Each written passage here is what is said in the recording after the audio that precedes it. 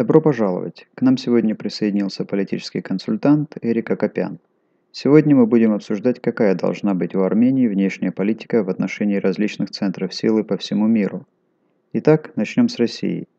Я думаю, что многие армяне пересмотрели свое восприятие России после подписания соглашения о прекращении огня. Мы знаем, что сейчас в Карабахе много российских миротворцев – как вы думаете, как новому министру иностранных дел и новому правительству Армении следует выстраивать отношения с Россией?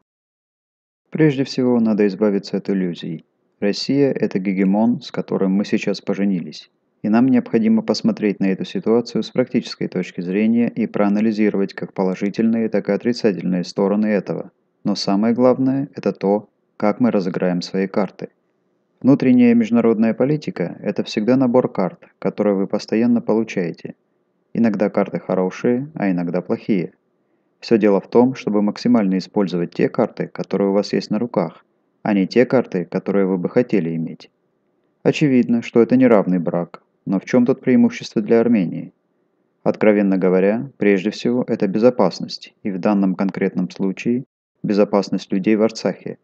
И во-вторых, Мир сейчас является очень неспокойным местом, и очень неплохо быть в союзе с ядерной державой, которая может устанавливать границы, за которые другие страны переходить не будут. Тем более, что сама Армения такие границы устанавливать не может.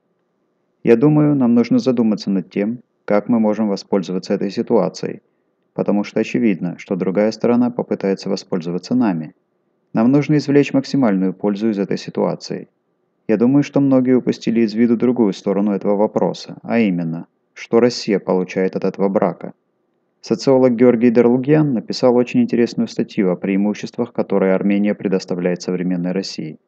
Во-первых, другие политические режимы, которые Россия пыталась поддерживать, такие как диктатура Лукашенко или тоталитарные режимы Центральной Азии, они все заканчивались катастрофой. В отличие от этих всех стран, Армения не находится под какими-либо санкциями со стороны Запада – и на самом деле имеет хорошие отношения с Западом, а также имеет правительство реформаторов, которое, несмотря на ужасающие потери в войне, похоже останется у власти, в основном из-за несостоятельности оппозиции, но это уже другой вопрос. Армения могла бы сыграть такую же роль, какую Гонконг играет для коммунистического Китая, который предоставил Китаю доступ в мир, от которого Китай был отрезан из-за санкций. Я считаю, что нам нужно взглянуть на все эти вещи с практической стороны дела – это не идеальная ситуация, потому что очевидно, что гегемон будет делать то, что хорошо для гегемона. Но это также вопрос того, насколько мы можем стать полезными для гегемона. Например, поражение Армении в войне, по большому счету, было поражением российской военной системы. Поэтому, по мере того, как мы будем восстанавливать нашу военную систему, нам в первую очередь нужно будет исправлять именно те области, в которых также слабая российская военная система. Например, технологии дронов, технологии борьбы с дронами и область войны будущего, робототехника. В процессе восстановления наших военных систем мы можем сотрудничать и помогать России в вопросе их обновления и модернизации. С одной стороны, мы должны извлечь максимальную пользу из сложившейся ситуации, а с другой, мы не должны недооценивать значение этой безопасности, которую получаем от дружбы с Россией. В мире, который в настоящее время претерпевает большие изменения, наличие гарантий безопасности от одной из основных мировых держав на самом деле может быть очень выгодным для нас в долгосрочной перспективе. Я никоим образом не пытаюсь обелить те проблемы, которые у нас могут возникнуть, потому что гегемон может легко начать действовать против наших интересов. Но на данном этапе мы очень четко находимся на одной стороне с Россией, и когда я говорю слово «Россия», я, конечно же, имею в виду Владимира Путина. У России есть прямая заинтересованность в попытках ограничить влияние Турции в этом регионе. Если вы посмотрите на то, как действовала Россия по сравнению, например, с Эрдоганом, то вы увидите, что Эрдоган – это тактик, а Путин – стратег. Эрдоган сделал всю работу, а Путин взял и воспользовался всеми плодами этой работы. И Россия кровно заинтересована в минимализации турецкого влияния в нашем регионе, и именно поэтому в этом вопросе мы находимся на одной стороне с Россией. А как насчет Америки и Европы? Очевидно, что эти два места по-прежнему являются основными источниками силы в мире.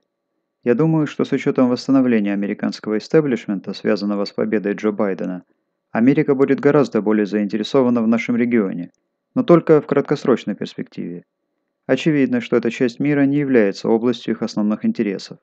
Но я думаю, что у нас будет более заинтересованная Америка. Я думаю, что это будет полезно – Но отчасти это действительно зависит от того, насколько хорошо армянская община будет действовать и добиваться от США благоприятных результатов.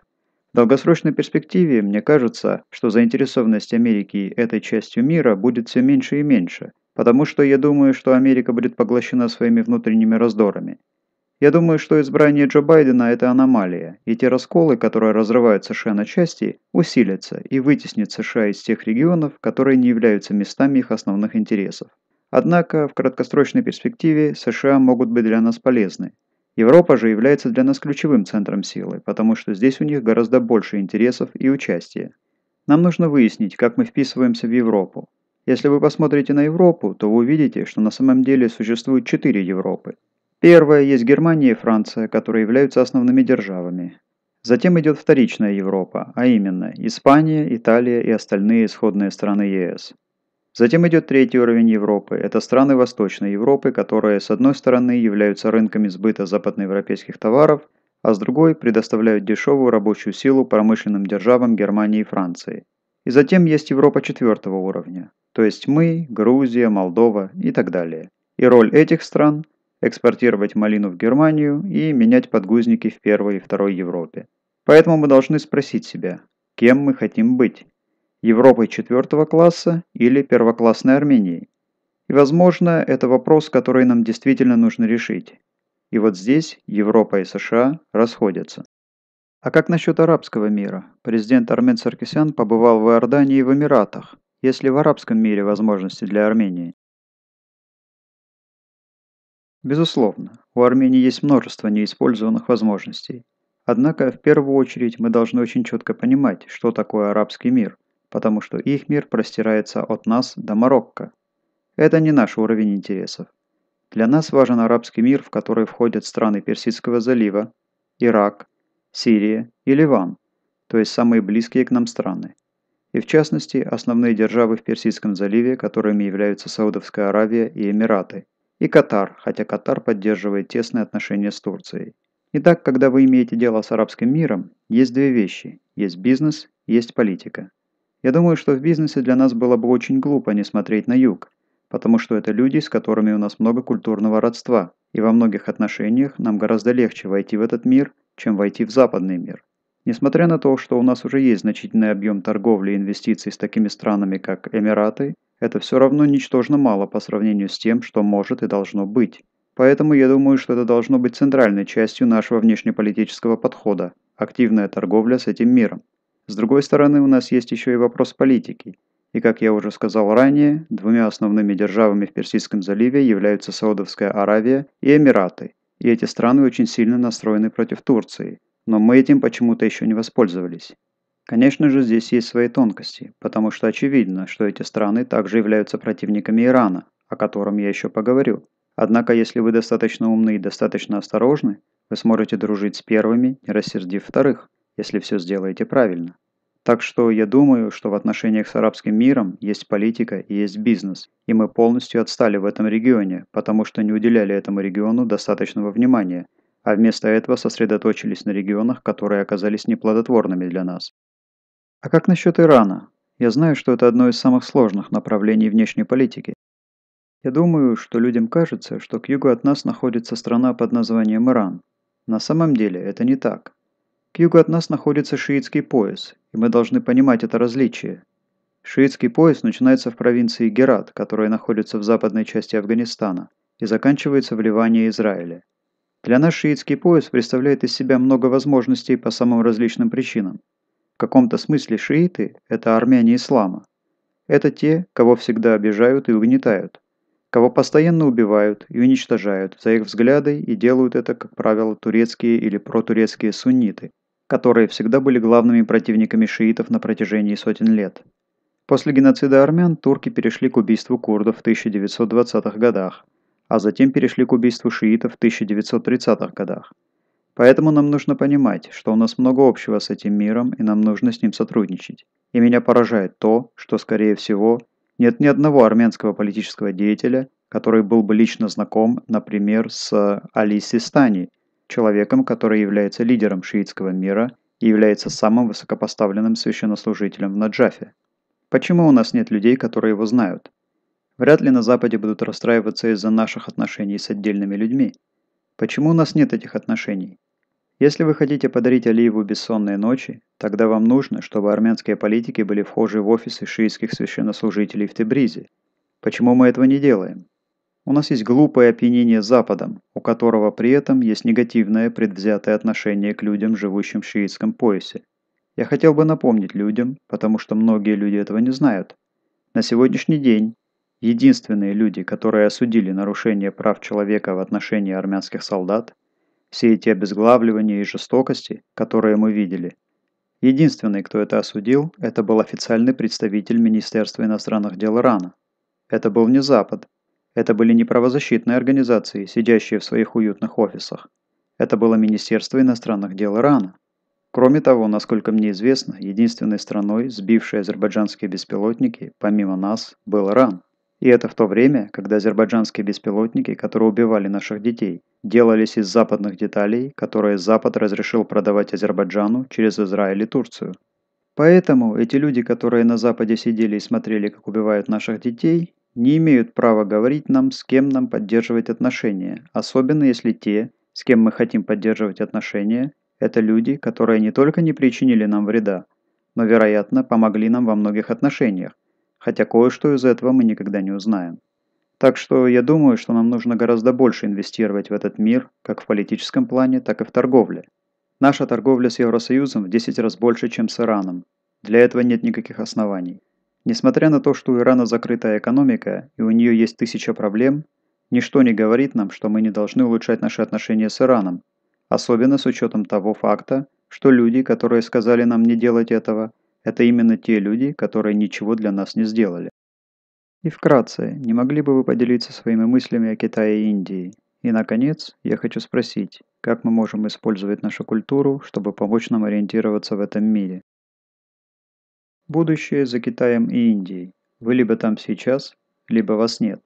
Исторически сложилось так, что на протяжении тысячелетий Китай и Индия были великими державами нашего мира.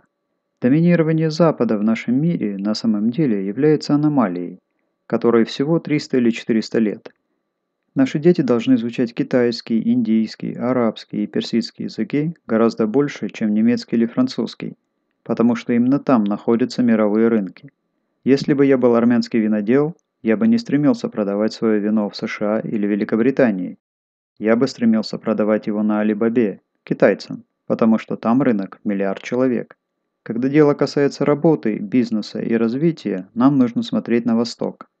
Многие люди этого не замечают, но прямо сейчас китайцы строят в Ереване инженерный город за миллиард долларов. Поэтому я думаю, что нам нужно смотреть в этом направлении. И это, откровенно говоря, больше касается бизнеса и развития, чем политики, потому что не слишком далеки от нас, чтобы действительно иметь в нашем регионе жизненно важные интересы. Однако, когда Китай станет мировой державой, он будет иметь свои интересы везде. И особенно, если наша ось развития будет идти с севера на юг, а не с востока на запад. То есть через Армению будут идти китайские товары. Так что я думаю, что нам нужно развивать эти отношения. Культура фантастически важна. Как народ мы добились успеха и пережили множество невзгод, потому что у нас есть культурная гибкость. Вы можете высадить нас в Швеции, вы можете высадить нас в Китае, вы можете высадить нас в Индии. Мы не потеряемся там, потому что наша культура достаточно искусна, чтобы понять нюансы других культур. Это еще верно и потому, что наша культура маленькая, и мы всегда должны выяснять нюансы более сильных и важных культур. И одна из причин того, почему армянам исторически удавалось открывать такие уникальные торговые пути, как путь из Ирана в Индонезию, заключается в том, что мы понимали другие культуры – и по правде говоря, учитывая тот факт, что будущее за Востоком, наша культурная близость с людьми из Индии, Китая или стран Персидского залива намного больше, чем наша культурная близость с датчанами или финнами. Я бы даже сказал, что у среднестатистической армянской семьи из Армении гораздо больше общего с религиозными мусульманами из определенных мест, чем с Запада. Это не значит, что мы не хотим чего-то с Запада но мы просто должны понимать, кто нам ближе культурно и что это значит для нас. И я думаю, что культура проявляется и во всем остальном. Во власти, в бизнесе. И мы всегда неправильно понимаем или недооцениваем важность этого. Культура – это то, что откроет нам двери во всем мире. Поэтому нам нужно сконцентрироваться на нашей культурной гибкости. Эрик, как всегда, спасибо. И спасибо, что присоединились к нам в CivilNet.